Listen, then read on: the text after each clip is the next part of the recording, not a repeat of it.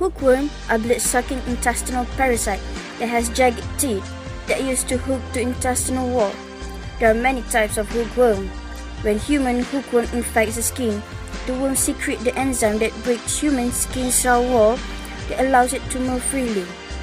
When worm enter the bloodstream and travel to intestinal tissue, it burrows to the wall to suck the blood, and they can reach to several organs like heart and lungs, which can lead to malnutrition and heart failure. It was 23rd of January. That day, me and my beloved girlfriend went for a stroller in the park that wonderful evening.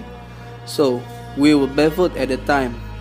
Well, I accidentally stepped on the contaminated soil for planting.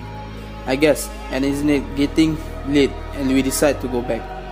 After a while, I feel a very very stomach pain. Other than that, I am suffering from itchiness and heavy headache. So, I decide to go to the hospital and the doctors suspect that I suffering from hookworm infection.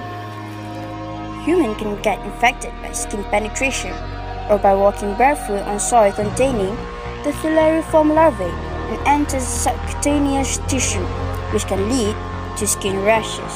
The victim may experience symptoms like anemia, vomiting, diarrhea, itching, and dizziness. Hookworm infection may cause an intestinal resembling peptic ulcer with epigastric pain, dyspepsia, and anemia will commonly lead to cardiac failure.